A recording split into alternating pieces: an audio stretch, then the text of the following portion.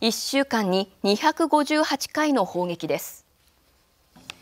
ウクライナのゼレンスキー大統領は28日、南部ヘルソン州の30の集落で、ロシア軍が過去1週間に258回の砲撃をしたと発表しました。